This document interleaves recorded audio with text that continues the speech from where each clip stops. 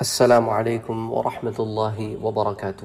پچھلے دو روز سے ہم صورت الاعراف کی آیا نمبر 157 کو ڈسکس کر رہے ہیں۔ ہم نے پہلے اس چیز کو ڈسکس کیا کہ حضور اکرم صلی اللہ علیہ وآلہ وسلم کے نو اوصاف اس ایک آیت میں موجود ہیں۔ اور کل ہم نے رسول اور نبی کے فرق کو دیکھا۔ آج بات کرتے ہیں لفظ الامی پر۔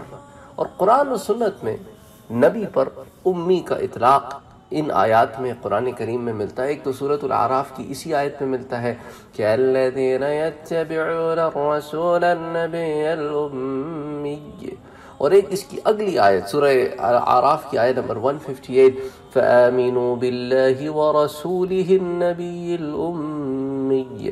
پھر اس کے علاوہ سورة البقرہ میں ہے کہ وَمِنْهُمْ أُمِّيُّونَ لَا يَعْلَمُونَ الْكِتَابَ إِلَّا أَمَانِيَّ اور اسی طرح سورہ جمعہ میں ہے هُوَ الَّذِي بَعَثَ فِي الْأُمِّيِّينَ رَسُولًا مِّنْهُمْ اب یہ جو لفظ امی ہے، یہ سورة العراف کی آیہ 157 میں ان معنی میں ہے کہ جو لوگ اس رسول، نبی امی کی پیروی کریں۔ اور سورة العراف کی آیہ 158 میں اس معنی میں ہے کہ اللہ پر ایمان لاؤ اور اس کے رسول پر جو نبی امی ہے اچھا اسی طرح سورة البقرہ میں جو لفظ امی ہے، اس کا معنی وہ نہیں ہے کیونکہ وہ عام لوگوں کے لیے، وَمِنْهُمْ أُمِّيُّونَ اور ان میں سے بعض لوگ ان پڑھ ہیں۔ امی ہیں ان پڑھ ہیں۔ لیکن جب نبی کے لیے لفظ امی آئے گا، تو اس کی ٹرانسلیشن نبی کے مقام کے لحاظ سے ہوگی۔ تو وہ لوگ سخت جہالت کرتے ہیں۔ جو لفظ امی کی جب ٹرانسلیشن کرتے ہیں، وہ انہی معنوں میں اس کی ٹرانسلیشن کر دیتے ہیں۔ یہ سخت غلط بات ہے اور خلاف ادب بات ہے۔ تو یہاں پر جو لفظ امی کا ہے، اطلاق وہاں عام لوگ ہیں کہ وَمِنْهُمْ أُمِّيُّونَ لَا يَعْلَمُونَ الْكِتَابِ۔ لا يعلمون الکتاب سے اس بات کی طرف واضح دلیل ہو رہی ہے کہ یہ وہ لوگ ہیں جو ان پڑھ ہیں، جو زبان سے لفظوں کو پڑھنے کے سوا اللہ کی کتاب کی معنی کا کچھ علم نہیں رکھتے۔ اچھا اسی طرح سورة الجمعہ میں جو آیت ہے، وَالَّذِي بَعَثَ فِي الْأُمِّيِّينَ رَسُولًا مِّنْهُمْ، جس نے ان پڑھ لوگوں میں، انہی میں سے ایک عظیم رسول بھیجا۔ تو انہی میں سے رسول، انہی میں کا کیا مطلب ہے؟ کہ ان کی طرف معاذ اللہ، اس امی کا اطلاق اس امی پر نہیں ہوگا جو نبی کے لیے استعمال ہوتا ہے۔ اس کے علاوہ صورت عال عمران میں دو جگہ آیا 75 اور 120 میں امیین کا لفظ استعمال ہوا ہے۔ اچھا رسول اکرم صلی اللہ علیہ وآلہ وسلم نے خود بھی اپنے لیے لفظ امی کا استعمال کیا ہے۔ تو قرآن میں بھی ہے اور حضور نے خود بھی کیا۔ حضرت عبداللہ ابن عمر فرماتے ہیں کہ اللہ کے رسول صلی اللہ علیہ وآلہ وسلم نے فرمایا کہ ہم امی لوگ ہیں، لکھتے ہیں نہ حساب کرتے ہیں۔ صحیح البخاری حدیث نمبر 1913 صحیح مسلم میں بھی یہ حدیث آتی ہے، حدیث نمبر 2472 پھر یہ سنن ابی داؤد میں بھی آتی ہے، حدیث نمبر 2319 سنن نسائی میں بھی آتی ہے، سنن القبرہ میں بھی آتی ہے، یہ امام نسائی کی ایک اور حدیث کی کتاب ہے، سنن القبرہ پھر یہ مسند امام احمد میں بھی آتی ہے، کئی کتب حدیث میں یہ آتی ہے، جامع الاصول میں بھی آتی ہے۔ کئی کتب حدیث میں یہ روایت آتی ہے۔ اچھا امی جو ہے نا لفظ، اس کا لغوی معنی کیا ہے؟ پہلے یہ دیکھتے ہیں۔ تو علامہ راغب اصفہانی جو متوفی ہیں پانچ سو دو ہجری کے، وہ لکھتے ہیں کہ امی وہ شخص ہے جو نہ لکھتا ہو اور نہ کتاب سے دیکھ کر پڑھتا ہو۔ یہ امی کے اصطلاحی معنی ہیں، لفظی معنی ہیں۔ تو اس آیت میں امی کا یہی معنی ہے کہ هو الذی بعث فی الامیین رسولا منہم، وہ جو آیتیں عام لوگوں کے لیے تو اس میں جو نہ لکھتا ہو، نہ کتاب دیکھ کے پڑھتا۔ ہو اچھا قطرب نے کہا کہ اس کے معنی ہے غفلت اور جہالت۔ سو امی کا معنی ہے قلیل المعرفت یعنی معرفت کا کم ہونا۔ اسی معنی میں ہے کہ وَبِنْهُمْ أُمِّيُّونَ لَا يَعْلَمُونَ الْكِتَابَ إِلَّا أَمَانِيَّ۔ یعنی وہ امی ہیں، جب تک ان پر تلاوت کی نہ جائے، وہ خود اسے نہیں جانتے۔ فرا نے کہا کہ یہ وہ عرب لوگ ہیں جن کے پاس کتاب نہ تھی اور قرآن مجید میں ہے وہ نبی الامی الذی یجدونہ مکتوب عندهم فی التوراۃ والانجیل کہ ایک قول یہ ہے کہ اللہ کے رسول کو امی اس لیے فرمایا کہ آپ امیین کے نبی تھے۔ ایک قول یہ ہے کہ آپ کو امی اس لیے فرمایا کہ آپ لکھتے تھے نہ کتاب سے پڑھتے تھے۔ اور یہ آپ کی فضیلت ہے۔ کیونکہ آپ حفظ کرنے سے مستغنی تھے اور آپ کو اللہ کی ضمانت پر اعتماد تھا۔ اللہ نے فرمایا، سَنُقْرِئُكَ فَلَا تَنْسَى عن قریب ہم آپ کو پڑھائیں گے اور آپ نہیں بھولیں گے۔ اور ایک قول یہ ہے کہ آپ کو امی اس لیے فرمایا کہ آپ ام القرا یعنی مکہ مکرمہ کے رہنے والے تھے۔ تو یہ تمام لغوی معنی کچھ لفظ امی کی ٹرانسلیشن جو حضور کے لیے خاص ہے، اسے امام راغب اصفہانی کی بڑی مشہور کتاب ہے۔ آپ میں سے جو لوگ عربی لغت سے واقف ہیں اور ریسرچ کرتے ہیں لغت کی، امام راغب اصفہانی المفردات جلد ایک صفحہ 29 پر جو ہے، اس کی تفصیل یوں لکھتے ہیں اور بہت بڑا نام ہے امام راغب اصفہانی۔ آپ لوگوں میں سے جن کو عربی زبان سے شغف ہے شغف ہے، وہ جانتے ہیں۔ اچھا اسی طرح علامہ ابن اثیر جزری یہ علامہ ابن اثیر ہیں۔ کثیر الگ ہیں، اثیر الگ ہیں۔ یہ چھ سو چھ ہجری میں ان کی وفات ہوئی۔ وہ لکھتے ہیں کہ حدیث میں کہ کہ ہم اہل عرب امی ہیں، لکھتے ہیں، نہ حساب کرتے ہیں۔ لا نکتبو ولا نحسب۔ آپ کی مراد یہ تھی کہ ہم اسی طرح ہیں جس طرح اپنی ماؤں سے پیدا ہوئے تھے۔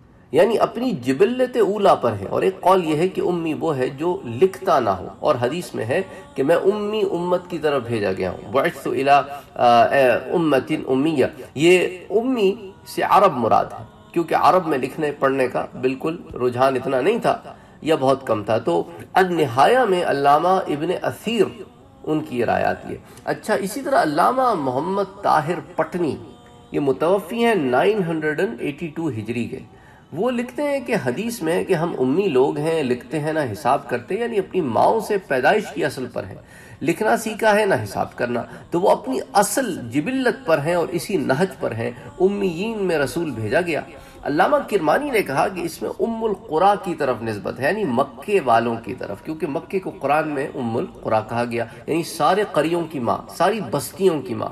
اگر یہ اعتراض کیا جائے کہ عرب میں لکھنے والے بھی تھے اور ان میں سے اکثر حساب جاننے والے بھی تھے، تو اس کا جواب یہ ہے کہ ان میں سے اکثر لکھنا نہیں جانتے تھے اور حساب سے مراد ستاروں کا حساب ہے اور وہ اس کو بالکل نہیں جانتے تھے۔ علامہ تیبی نے کہا کہ ابن سیاد نے نبی اکرم صلی اللہ علیہ وسلم سے کہا کہ آپ امیین کے رسول ہیں۔ اس شیطان کا مطلب یہ تھا کہ آپ صرف عرب کے رسول ہیں اور دوسروں کے نہیں۔ تو مجمع بحار الانوار میں یہ تفصیل آتی ہے علامہ محمد طاہر پٹنی کی۔ اچھا اسی طرح علامہ زبیدی جو متوفی ہیں بارہ سو پانچ ہجری کے، وہ لکھتے ہیں کہ قاموس میں ہے کہ امی وہ شخص ہے جو نہ لکھتا ہو یا اپنی ماں کی پیدا، جس طرح ماں کے پیٹ سے جرا ہو، اس حال پر باقی ہو۔ اور امی جو ہے وہ قبی اور غبی اور قلیل الکلام کو بھی کہتے ہیں کہ جو کم بات کرتا ہو۔ اس کی تشریح میں علامہ زبیدی لکھتے ہیں کہ حضرت محمد مصطفیٰ صلی اللہ علیہ وآلہ وسلم کو امی اس لیے کہا جاتا ہے کہ عرب قوم لکھتی تھی نہ پڑھتی تھی۔ اور اللہ نے آپ کو مبعوث کیا اور آپ لکھتے تھے نہ کتاب کو پڑھتے تھے اور یہ آپ کا معجزہ ہے کیونکہ آپ نے بغیر کسی تغیر اور تبدل کے بار بار قرآن مجید کو پڑھا۔ یہ آپ کے حافظے کا کمال تھا۔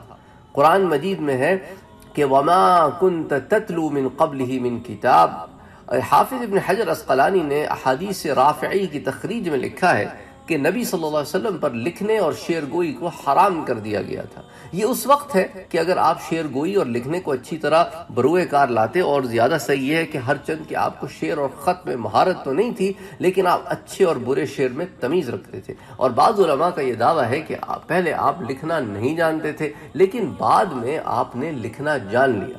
کیونکہ اللہ نے فرمایا، وما كنت تتلو من قبلی آپ اس سے پہلے نہ کسی کتاب کو پڑھتے تھے، نہ اپنے ہاتھ سے لکھتے تھے۔ تو بعض علماء نے اس آیت کی یہ تفسیر بیان کی ہے۔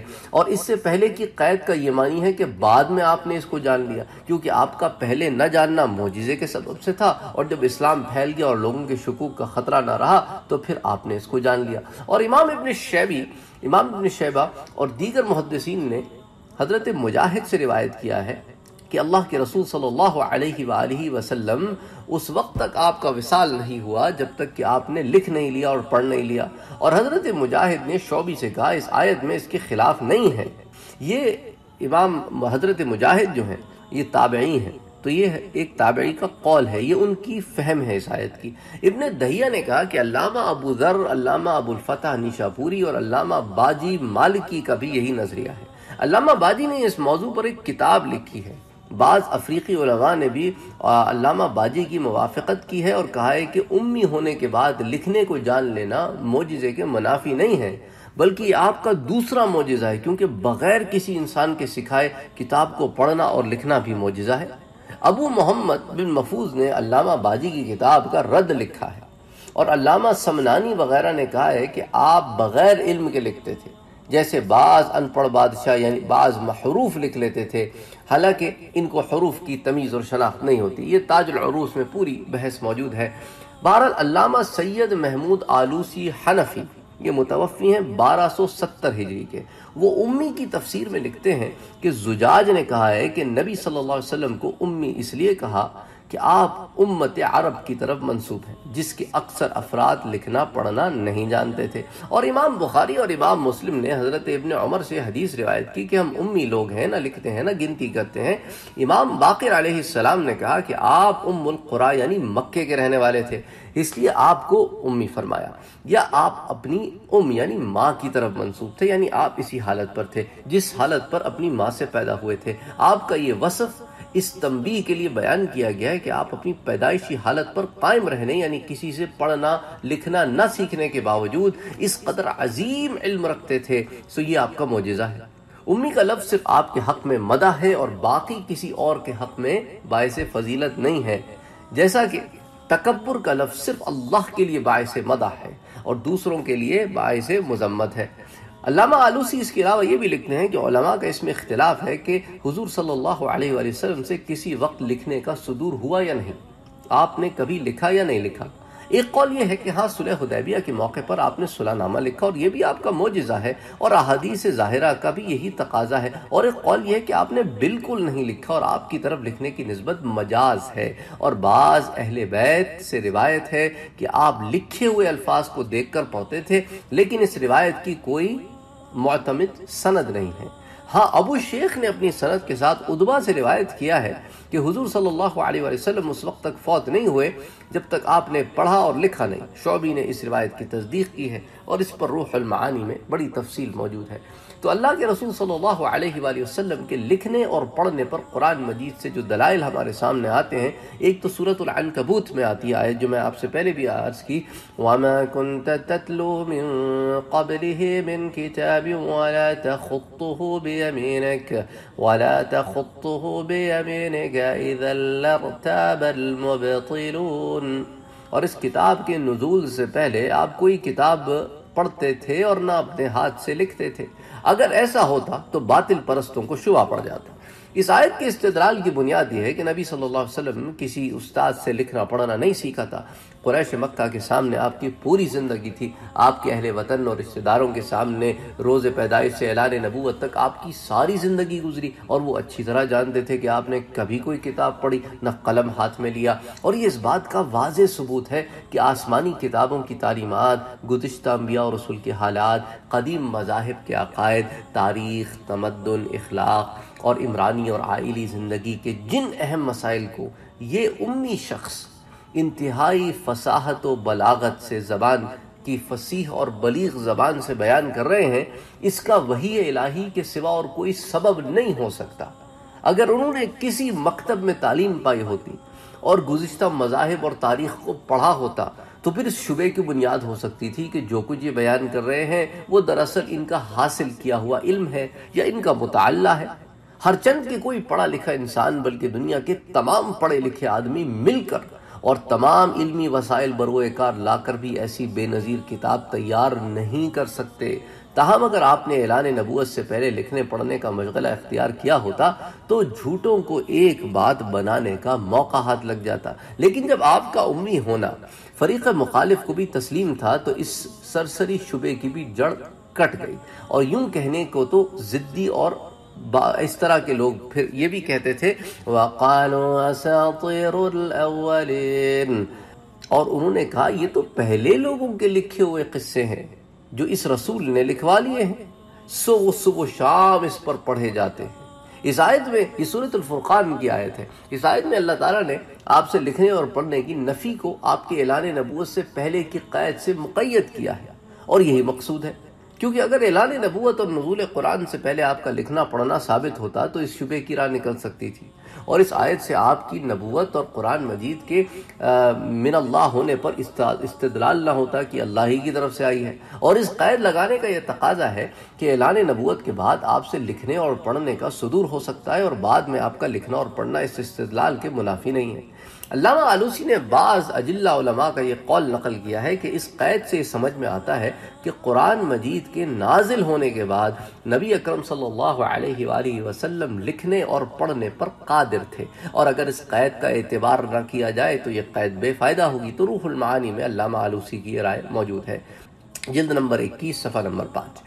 کہ جس طرح اللہ نے آپ کو دیگر علمی اور عملی کمالات عطا فرمائے ہیں، اسی طرح آپ کو لکھنے، پڑھنے کا بھی کمال عطا فرمایا ہے۔ لکھنے کا علم ایک عظیم نعمت ہے۔ قرآن مجید میں کہ الذي علم بالقلم، علم الانسان ما لم يعلم کہ وہی تو ہے جس نے قلم کے ذریعے سے علم سکھایا اور انسان کو وہ علم دیا جس کو وہ جانتا نہ تھا۔ امت کے ان انگرت افراد کو پڑھنے اور لکھنے کا کمال حاصل ہے تو یہ کیسے ہو سکتا ہے کہ نبی صلی اللہ علیہ وسلم کو یہ کمال حاصل نہ ہو؟ اور امی ہونے کا فقط یہ مفاد ہے کہ آپ نے کسی مخلوق سے لکھنا پڑھنا نہیں سیکھا۔ تو یہ ساری جو بحث کی میں نے اس کا خلاصہ یہ دے رہا ہوں کہ حضور کے لیے امی کا جو معنی ہے، اس کی ہم وہ ٹرانسلیشن نہیں کریں گے جو ہم عام انسان کے لیے کرتے ہیں۔ عام انسان کے لیے امی ہونا تو کہے گا، نہیں بھائی، پڑھو لکھو۔ حضور کے لیے امی ہونا حضور کی مدہ ہے۔ اور کیوں مدہ ہے؟ اس کی ریزن یہ ہے کہ حضور کو یہ کمال حاصل ہے کہ آپ نے کسی انسان سے، کسی مخلوق سے لکھنا پڑھنا نہیں سیکھا۔ اللہ تعالیٰ نے آپ کو براہ راست علم عطا فرمایا اور بیست سے پہلے آپ لکھنے اور پڑھنے میں مشغول نہیں رہے تاکہ آپ کی نبوت میں کسی کو شبہ نہ ہو اور بیست کے بعد آپ نے پڑھا اور لکھا اور یہ ایک الگ معجزہ ہے کیونکہ بغیر کسی مخلوق سے قصب فیض کے پڑھنا اور لکھنا یہ خلاف عادت ہے۔ تو اسی لیے علماء اہل سنت والجماعت کی یہ رائے ہے کہ حضور صلی اللہ علیہ وآلہ وسلم کی یہ شان ہے کہ آپ نے اپنے رب سے براہ راست تعلیم حاصل کی اور لکھنا، پڑھنا سیکھا اور کسی مخلوق سے نہیں سیکھا اور اسلام آپ نے اپنی نبوت کے اعلان سے قبل بظاہر لکھنا، پڑھنا آپ کو نہیں آتا تھا۔ لیکن یہ اللہ تعالیٰ کی طرف سے خاص انتظام تھا تاکہ کوئی اس قرآن عظیم کو آپ کے علم کی طرف یا آپ نے جن سے علم حاصل کیا ان کی طرف اس کا استدلال نہ کرے۔ بلکہ اس بات کا ثبوت ہو کہ یہ اللہ ہی کی طرف سے آ سکتا ہے۔ اچھا اس زمن میں بعض علماء نے یہ بھی لکھا ہے کہ بہت مشہور مفسر گزرے مولانا مودودی، جو متوفی ہیں 1399 ہجری میں۔ اللہ کے رسول صلی اللہ علیہ وسلم کے لکھنے پر وہ اعتراض کرتے ہوئے لکھتے ہیں کہ ان لوگوں کی جسارت حیرت انگیز ہے جو نبی کو خواندہ ثابت کرنے کی کوشش کرتے ہیں۔ حالانکہ یہاں قرآن صاف الفاظ میں حضور کے ناخواندہ ہونے کو آپ کی نبوت کے حق میں ایک طاقتور ثبوت کے طور پہ پیش کر رہا ہے۔ جن روایات کا سہارا لے کر یہ دعویٰ کیا جاتا ہے کہ حضور لکھے پڑھے تھے یا بعد میں آپ نے لکھنا پڑھنا سیکھ لیا تھا، وہ اول تو پہلی ہی نظر میں رد کر دینے کے لائق ہیں کیونکہ قرآن کے خلاف کوئی روایت بھی قابل قبول نہیں۔ پھر وہ بجائے خود بھی اتنی کمزور ہیں کہ ان پر کسی استدلال کی بنیاد قائم نہیں ہو سکتی۔ ان میں سے ایک بخاری کی یہ روایت ہے کہ صلح حدیبیہ کے معاملہ جب لکھا جا رہا تھا تو کفار مکہ کے نمائندے نے اللہ کے رسول کے نام کے ساتھ رسول اللہ لکھے جانے پر اعتراض کیا۔ اس پر حضور نے کاتب یعنی حضرت علی کو حکم دیا کہ اچھا رسول کا لفظ کاٹ کر محمد بن عبداللہ لکھ دو۔ حضرت علی نے لفظ رسول اللہ کاٹنے سے انکار کر دیا۔ اس پر حضور نے ان کے ہاتھ سے قلم لے کر وہ الفاظ خود کاٹ دیے اور محمد بن عبداللہ لکھ دیا۔ ہو سکتا ہے کہ صحیح صورت واقعہ یہ ہو کہ جب حضرت علی نے رسول اللہ کا لفظ مٹانے سے انکار کر دیا تو آپ نے اس کی جگہ ان سے پوچھ کر اور پھر ان سے یا کسی دوسرے کاتب سے ابن عبداللہ کے الفاظ لکھوا دیے ہوں۔ تاہم اگر واقعہ یہی ہو کہ حضور نے اپنا نام اپنے ہی دست مبارک سے لکھا ہو، تو ایسی مثالیں دنیا میں بکثرت پائی جاتی ہیں کہ بعض لوگ پڑھے لکھے نہیں ہوتے بظاہر، لیکن صرف اپنا نام لکھ لیتے ہیں، باقی کوئی چیز نہ پڑھ سکتے ہیں نہ لکھ سکتے۔ ہیں تو یہ ایک اعتراض ہے مولانا مودودی کا تفہیم القرآن میں جلد نمبر تین، صفحہ سات سو تیرہ، سات سو چودہ پر۔ اب علماء اہل سنت والجماعت اس کا کیا جواب دیتے ہیں؟ جو مین سٹریم علماء ہے وہ کہتے ہیں بھئی پہلی بات تو یہ ہے کہ سید مودودی کا یہ لکھنا غلط ہے کہ اعلان نبوت کے بعد نبی صلی اللہ علیہ وسلم کا لکھنا قرآن مجید کی اس آیت اور اس استدلال کے خلاف ہے۔ کیونکہ قرآن مجید نے آپ کے لکھنے اور پڑھنے کی مطلقاً نفی نہیں کی، بلکہ نزول قرآن سے پہلے آپ کے لکھنے اور پڑھنے کی نفی کی ہے۔ لہٰذا نزول قرآن کے بعد جن احادیث میں آپ کے لکھنے کا ثبوت ہے، وہ روایات قرآن مجید کے خلاف نہیں ہیں۔ دوسری بات یہ ہے کہ صحیح بخاری، صحیح مسلم اور دیگر بکثرت کتب سیاح سے رسول اکرم صلی اللہ علیہ وسلم کا لکھنا ثابت ہے اور سید مودودی کا ان احادیث کو بجائے خود کمزور کہنا لائق الالتفات نہیں ہے۔ تیسری بات، سید سید مودودی نے جو یہ تعویل کی ہے کہ ہو سکتا ہے کہ آپ نے کسی اور کاتب سے لکھوا دیا ہو، تو یہ احتمال بلا دلیل ہے یہ ہو سکتا ہے۔ ان الفاظ کو بلا ضرورت مجاز پر محمول کرنا صحیح نہیں ہے۔ چوتھی بات یہ ہے کہ اس بحث کا سب سے افسوسناک پہلو یہ ہے کہ سید مودودی نے نبی امی کو عام ان پڑھ لوگوں پر قیاس کیا ہے اور لکھا ہے کہ اگر آپ نے اپنا نام ہی اپنے دست مبارک سے لکھ لیا تو ایسی بہت ساری مثالیں موجود ہیں کہ لوگ پڑھے لکھے نہیں ہوتے، اپنا نام لکھ لیتے ہیں۔ عام لوگوں کا ان پڑھ ہونا ان کا نقص ہے، یاد رکھیں۔ اور ان کی جہالت ہے۔ اور میرے پاک نبی صلی اللہ علیہ وآلہ وسلم کا امی ہونا، میں لفظ ان پڑھ نہیں استعمال کروں گا یہاں پر۔ کیونکہ حضور کا مقام یہ ہے کہ لفظ امی ہی استعمال ہو۔ کیونکہ حضور کا مقام ہے کہ حضور کا امی ہونا، حضور کا کمال ہے کہ دنیا میں کسی استاد کے آگے زانو تلمس طے نہیں کیا۔ کسی مکتب میں جا کر لکھنا پڑھنا نہیں سیکھا، کسی پاٹشالہ میں نہیں گئے۔ اور براہ راست خدا لم یزل سے علم پا کر اولین و آخرین کے علوم بیان فرمائے اور پڑھ کر بھی دکھایا اور لکھ کر بھی دکھایا۔ اب رسول اکرم صلی اللہ علیہ وآلہ وسلم کے لکھنے کے ثبوت میں جو حدیث آتی ہیں، حضرت برا بن عازب بیان کرتے ہیں کہ حضور صلی اللہ علیہ وآلہ وسلم نے ذوالقعدہ قاعدہ میں عمرہ کیا تو اہل مکہ نے آپ کو مکے میں داخل ہونے سے منع کر دیا، حتیٰ کہ اس بات پر صلح کی کہ آپ آئندہ سال عمرہ کریں اور مکے میں صرف تین دن قیام کریں۔ جب انہوں نے صلح نامہ لکھا تو اس میں یہ لکھا کہ یہ وہ تحریر ہے جس پر محمد رسول اللہ نے صلح کی کفار مکہ نے کہا، ہم اس کو نہیں مانتے۔ اگر ہم کو یہ یقین ہوتا کہ آپ اللہ کے رسول ہیں تو ہم آپ کو نہ منع کرتے، لیکن آپ تو محمد بن عبداللہ ہیں۔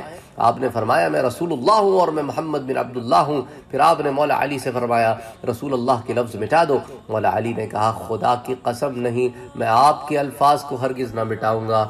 اللہ اکبر اللہ اکبر۔ اللہ اکبر اللہ اکبر۔ یہ میرے مولا علی کا حب عشق رسول تھا کہ یا رسول اللہ صلی اللہ علیہ وسلم، میرا تو ایمان ہے رسول اللہ پر، میں رسول اللہ کیسے مٹا دوں؟ اللہ اکبر، یہ محبت ہے۔ یہ محبت والے سمجھ سکتے ہیں کہ یہ محبت ہوتا اور یہ ناز ہوتا ہے۔ ہر کسی کو یہ ناز نہیں نصیب ہوتا۔ یہ میرا مولا علی کا خاصہ ہے۔ وہ کہتے ہیں، میرے مولا علی، وہ حضور سے کہتے ہیں کہ میرے پاک نبی، یہ تو میرا ایمان ہے، میں ہرگز نہ مٹاؤں گا۔ تب اللہ کے رسول نے لکھنا شروع کیا اور آپ اچھی طرح مہارت سے نہیں لکھتے تھے۔ یہ حدیث کے الفاظ۔ بس آپ نے لکھا، یہ وہ ہے جس پر محمد بن عبداللہ نے صلاح کی کہ کوئی شخص مکے میں ہتھیار لے کر داخل نہیں ہوگا، سوائے اس کے کہ تلوار نیام میں ہو۔ یہ صحیح البخاری کی روایت ہے۔ حدیث نمبر 4251 درجہ صحیح کی روایت ہے۔ مستد امام احمد میں بھی آتی ہے، جامع الاصول میں بھی آتی ہے۔ اچھا امام بخاری نے اس واقعے کو ایک اور سنت کے ساتھ حضرت برا بن عازب سے روایت کیا ہے۔ اس میں اس طرح ہے کہ جب انہوں نے صلح نامہ لکھا تو اس میں یہ لکھا کہ یہ وہ ہے جس پر محمد رسول اللہ نے صلح کی۔ کفار مکہ نے کہا، ہم اس کو نہیں مانتے۔ اگر ہم کو یقین ہوتا کہ آپ اللہ کے رسول ہیں تو ہم آپ کو منع نہ کرتے۔ لیکن آپ تو محمد بن عبداللہ ہے آپ نے فرمایا، میں رسول اللہ ہوں اور میں محمد بن عبداللہ ہوں۔ پھر آپ نے حضرت علی سے کہا کہ رسول اللہ کے الفاظ کو مٹا دو۔ حضرت علی نے کہا، نہیں، خدا کی قسم، میں ان الفاظ کو نہیں مٹاؤں گا۔ اور وہی ریزن جو میں نے پہلے بتایا۔ تب رسول اکرم صلی اللہ علیہ وسلم نے اس مکتوب کو پکڑا اور لکھا، یہ وہ ہے جس پر محمد بن عبداللہ نے صلح کی۔ یہ صحیح البخاری کی حدیث ہے 2699 یہ بھی درجہ صحیح کی۔ دو حدیثیں آگے اچھا یہ جو سید ابو العلا مودودی ان احادیث پر اعتراض کرتے ہوئے لکھتے ہیں، حضرت برا کی روایت میں استراب ہے اور راویوں نے حضرت برا کے جوں کے تم الفاظ نقل نہیں کیے، کسی روایت میں لکھنے کا مطلقا ذکر نہیں، کسی میں صرف کتبہ ہے اور کسی میں لیسا یحسن یکتبو یعنی بعض روایت میں کہ آپ نے لکھا اور بعض میں ہے کہ آپ اچھی طرح یعنی مہارت سے نہیں لکھتے تھے۔ سید مودودی کا اس اختلاف کو استراب استراب قرار دینا یہ صحیح نہیں ہے۔ علماء لکھتے ہیں، یہ ایسا اختلاف نہیں ہے کہ جس کی وجہ سے ان روایات کا معنی مسترب ہو جائے۔ اگر اس قسم کے اختلاف کو اضطراب کہا جائے تو پھر تمام احادیث ساقط الاستدلال قرار پائیں گی۔ علاوہ ازیں جن احادیث میں حضور صلی اللہ علیہ وسلم کے لکھنے کا ثبوت ہے، وہ اور بھی صحابہ سے مروی ہیں اور ان میں کتبہ اور لیس یحسن یکتب کا اختلاف بھی نہیں ہے۔ اب ہم دوسرے صحابہ کی روایت دیکھتے ہیں۔ حضرت سعید بن جبیر بیان کرتے ہیں کہ حضرت عبداللہ بن عباس نے کہا، جمعرات کا دن کیسا تھا وہ جمعرات کا دن؟ پھر وہ رونے لگے۔ اللہ اکبر، یہ حضور صلی اللہ علیہ وآلہ وسلم کے وصال کی یاد آئے تو ہر مومن روتا ہے۔ یہ عشق نبی میں روتا ہے۔ یہ عشق نبی میں روتا ہے۔ اللہم صلی علی محمد۔ تو حضرت عبداللہ ابن عباس رونے لگے حتیٰ کہ ان کے آنسوؤں سے سنگریزے بھیگ گئے۔ بس حضرت سعید ابن جبیر کہتے ہیں، میں نے ابن عباس سے پوچھا، جمعرات کے دن میں کیا بات ہے؟ انہوں نے کہا، اس دن اللہ کے رسول کا درد زیادہ ہو گیا تھا۔ آپ نے فرمایا، میرے پاس قلم اور کاغذ لاؤ، میں تمہیں ایک ایسا مکتوب لکھ دوں جس کے بعد تم کبھی گمراہ نہیں ہوگے۔ بس صحابہ میں اختلاف ہو گیا اور حضور کے پاس اختلاف نہیں ہونا چاہیے تھا۔ صحابہ نے کہا، آپ کا کیا حال ہے؟ کیا آپ بیماری میں کچھ کہہ رہے ہیں؟ آپ سے پوچھ لو مسلم کی روایت میں ہے کہ حضرت، تو اس میں کیا الفاظ ہے میرے پاس قلم اور کاغذ لاؤ میں تمہیں ایک ایسا مکتوب لکھ دوں کہ جو الفاظ ہیں۔ اچھا مسلم کی ایک روایت میں ہے کہ حضرت عبداللہ ابن عباس نے فرمایا کہ سب سے بڑی مصیبت یہ ہے کہ ان کا اختلاف اور شور نبی اور آپ کے لکھنے کے درمیان حائل ہو گیا۔ یہ الفاظ بھی ذرا ذہن میں رکھیں۔ یہ بھی صحیح البخاری، صحیح مسلم متفق علیہ روایت ہے، سنن ابی داؤد میں بھی آتی۔ حضرت عائشہ بھی بیان کرتی ہیں کہ اللہ کے رسول نے اپنے مرض میں مجھ سے فرمایا، میرے لیے ابو بکر کو اور اپنے بھائی بھائی کو بلاؤ، حتیٰ کہ میں ایک مکتوب لکھ دوں، کیونکہ مجھے خوف ہے کہ کوئی تمنا کرنے والا تمنا کرے گا اور کہنے والا کہے گا کہ میں ہی خلافت کا مستحق ہوں اور اللہ اور مومنین ابو بکر کے غیر پر انکار کر دیں گے۔ اس سے زیادہ اور واضح کیا الفاظ ہوں گے حضرت ابو بکر کی خلافت کے اوپر؟ وہ جو اعتراض کرتے ہیں، یہ صحیح مسلم کی روایت ہے، درجہ صحیح کی روایت ہے۔ اور درجہ صحیح کے سات مراتب میں تیسرے درجے میں جو آتی ہے نا، سب سے اعلیٰ درجہ صحیح احادیث کا وہ ہوتا ہے جو متفق علیہ ہوتی ہے۔ پھر وہ جو بخاری میں آئے، پھر وہ جو مسلم میں آئے۔ حضرت انس ابن مالک بیان کرتے ہیں کہ جب حضور صلی اللہ علیہ وآلہ وسلم نے روم کی طرف مکتوب لکھنے کا ارادہ کیا تو صحابہ نے کہا، وہ صرف اسی مکتوب کو پڑھتے ہیں جس پر مہر لگی ہو۔ تو حضور نے چاندی کی ایک انگوٹھی بنوائی، گویا کہ اس، گویا میں اس کو رسول اللہ کے ہاتھ میں دیکھ رہا تھا، اس پر نقشتہ محمد رسول اللہ، یہ صحیح بخاری کی روایت ہے، صحیح مسلم کی روایت ہے۔ سنن نسائی، سنن القبرہ اچھا حضرت انس بیان کرتے ہیں کہ حضور نے کسرا کی طرف، قیصر کی طرف، نجاشی کی طرف اور ہر جابر بادشاہ کی طرف مکاتب لکھے۔ یہ بھی صحیح مسلم کی روایت ہے۔ امام بخاری اور امام مسلم نے ایک طویل حدیث کے ضمن میں اور امام ابی داود نے، امام دارمی نے صرف اس واقعے کو روایت کیا ہے کہ حضرت ابو حمید سعیدی رضی اللہ تعالی عنہ بیان کرتے ہیں کہ ایلا کے بادشاہ نے اللہ کے رسول کو خط لکھا۔ اور ایک سفید خچر آپ کو ہدیے میں بھیجی۔ رسول اللہ نے بھی اس کو خط لکھا اور اس کو ایک چادر ہدیے میں بھیجی اور آپ نے حکم دیا وہ سمندر کے ساتھ جس شہر میں رہتے ہیں، اس پہ ان کو جزیے پر رہنے دیا جائے۔ صحیح بخاری کی روایت ہے۔ حضرت سہل بن حسمہ بیان کرتے ہیں کہ حضرت عبداللہ بن سہل اور حضرت محیسہ کسی کام سے خیبر گئے۔ پھر حضرت محیزہ کو خبر پہنچی کہ حضرت عبداللہ بن سہل کو قتل کر کے کنویں میں ڈال دیا گیا، وہ یہود کے پاس گئے۔ رسول اکرم صلی اللہ علیہ وسلم نے فرمایا، تو یہود تمہارے مقتول کی دیت ادا کریں گے اور یا وہ اعلان جنگ کو قبول کر لیں گے۔ پھر اللہ کے رسول نے فیصلہ یہود کی طرف لکھ کر بھیج دیا۔ یہ بھی صحیح بخاری کی حدیث ہے، صحیح مسلم کی حدیث ہے۔ اسی طرح حضرت برا بن عازب کے علاوہ یہ حضرت عباس، حضرت عائشہ، حضرت انس، حضرت ابو حمید سعیدی، حضرت سہل بن ابی حسمہ اور کتنی روایات ہیں، درجہ صحیح کی روایات ہیں۔ ان میں کسی حدیث کی صنعت ضعیف نہیں ہے۔ اور ان تمام احادیث میں حضور کے لکھنے کی تصریح ہے اور ان سب کی یہ تعویل کرنا کہ لکھنے سے مراد لکھنے کا حکم دینا یہ صحیح نہیں ہے، کیونکہ یہ مجاز ہے اور جب تک کوئی عقلی یا شرعی استحالہ نہ ہو، کسی لفظ کو حقیقت سے ہٹا کر مجاز پر کیسے آپ رکھ سکتے ہیں؟ اور بلا وجہ حدیث کے الفاظ کو اپنی مرضی کا معنی پہنانا، خصوصاً اس صورت میں جبکہ قرآن سے نزول قرآن کے بعد آپ کے لکھنے اور پڑھنے کی تائید ہوتی ہے، جیسا کہ ہم، میں آپ کو پہلے بتا چکا ہوں۔ اور لکھنا اور پڑھنا اللہ کی ایک نعمت ہے اور کمال ہے، اور یہ کیسے ممکن ہے کہ اللہ آپ کی امت کو تو یہ نعمت عطا کرے اور آپ کو یہ نعمت سے محروم رکھے؟ اور اگر مان لیا جائے کہ آپ کو لکھنا اور پڑھنا نہیں آتا تھا، تو لازم آئے گا کہ اس نعمت اور کمال میں یعنی لکھنے اور پڑھنے کی نعمت اور کمال میں ایسے کیسے ہو سکتا ہے کہ امت تو آگے بڑھ جائے نبی سے؟ یہ کسی طرح جائز ہی نہیں ہے۔ امت کو اپنے نبی پر مطلقاً فضیلت نہیں ہوتی، جزوی نہ کلی۔ اچھا اس زمین میں پھر علماء کی بڑی تفصیل سے رائے بھی آتی ہے۔ اگر آپ مطالعہ کریں تو اس کے اندر جو ہے، حضرت علامہ ابو العباس احمد بن عمر القرطبی، انہوں نے حضرت برا بن عازب سے روایت کیا کہ حضور نے اپنے ہاتھ سے لکھا محمد بن عبداللہ۔ اور ایک روایت میں ہے کہ آپ نے یہ لکھا، حالانکہ آپ مہارت سے نہیں لکھتے تھے، یہ صحیح بخاری کی جو روایت ہے۔ اسی طرح علامہ سمنانی، علامہ ابو ذر، علامہ باجی نے اس حدیث کو اپنے ظاہر پر محمول کیا ہے۔ اور ان کی تحقیق یہ ہے کہ یہ لکھنا حضور کے امی ہونے کے منافی نہیں ہے اور نہ اس آیت کے معارض ہے اور آپ نزول قرآن سے پہلے کسی کتاب کو نہ پڑھتے تھے اور نہ اپنے دائیں ہاتھ سے لکھتے تھے۔ اور نہ اس حدیث کے خلاف ہے کہ ہم ان پڑھ امت ہیں، نہ لکھتے ہیں، نہ حساب کرتے ہیں، بلکہ ان کی تحقیق یہ ہے کہ آپ کا لکھنا آپ کے معجزے کا اور زیادہ ہونا ہے اور یہ آپ کے صدق اور آپ کی رسالت کی اور قوی دلیل ہے۔ آپ نے کسی سے سیکھے بغیر اور کسی کے عادی اسباب کے حصول کے بغیر لکھا ہے۔ لہٰذا یہ اپنی جگہ ایک الگ معجزہ ہے اور جس طرح نبی صلی اللہ علیہ وسلم نے کسی سے پڑھے بغیر اور علم کے دیگر اسباب حاصل کیے بغیر اولین اور آخرین کے علم کو جان لیا، اور یہ بات آپ کا بہت بڑا معجزہ ہے اور اعلیٰ درجات کی فضیلت ہے۔ اسی طرح کسی سے سیکھے بغیر لکھنا بھی آپ کے امی ہونے کے خلاف نہیں، اور یہ بات آپ کا ایک بہت بڑا معجزہ ہے۔ اور یہ بھی ہو سکتا ہے کہ جس وقت آپ نے محمد بن عبداللہ لکھا، اس وقت آپ نے چند لکیریں ڈالی ہوں اور ان کا مفہوم محمد بن عبداللہ ہو۔ یہ بھی ہو سکتا ہے کہ آپ کو ان حروف کی شناخت ہو اور یہ بھی ہو سکتا ہے کہ آپ کو ان کی شناخت نہ ہو اور ہر تقدیر پر آپ سے امی کا لقب ساخت نہیں ہوگا۔ اندلوسی اور اندلس کے علاوہ دوسرے ممالک کے علماء نے اس نظریے کی مخالفت کی، بلکہ علامہ باجی کی تکفیر کی۔ لیکن یہ درست نہیں ہے اور شریعت میں اس پر کوئی قطعی دلیل نہیں ہے۔ تو یہ جو علامہ ابو العباس احمد بن عمر القرطبی المالکی، ان المفہم میں یہ ساری تفصیل موجود ہے۔